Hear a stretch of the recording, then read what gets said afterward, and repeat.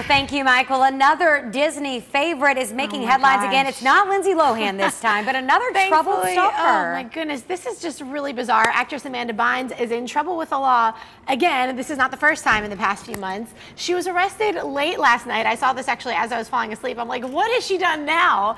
Police say her building manager reported she was smoking an illegal substance in the lobby, and that's when the cops were called. Is that video of her arrest? Yes, and this is wearing her like a wig. and her horrible blonde wig, like really awful wig. Oh, um, but apparently, when the cops got there, she let them in her apartment. Um, that's when they saw a bong sitting on a table, and she at some point apparently took the bong and threw it out the window to try and get rid of the evidence. And, you know, keep in mind, she lives like high up in a New York City apartment because that could have really injured someone. Thankfully, it didn't. But she's being charged with tampering with physical evidence, criminal possession of marijuana, and reckless endangerment, of course, because those the bong could have hit people down below.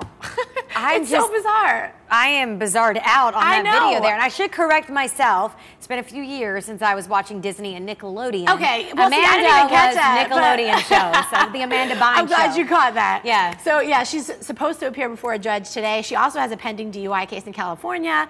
This girl, I don't know. Her her parents need to Well, I think they've been trying bit. to get some help. There was some talk that maybe she has a bipolar, you know, a few bipolar episodes. There's got to be something going on there. Hopefully sure. they'll be able to get her some help. Now, quickly, if people are heading out to the theaters Yes, for the a lot of great stuff in the theaters. We have the latest installment of The Fast and the Furious, the sixth installment actually, and The Hangover 3, which all you need to know is Bradley Cooper's in that. Um, and of course, the Hangover films are pretty funny. Mm-hmm. And then we have Epic for a family-friendly film. All the sequels hitting the box office. Yes. All right, Sharon, thank you. It is time now for your first alert forecast.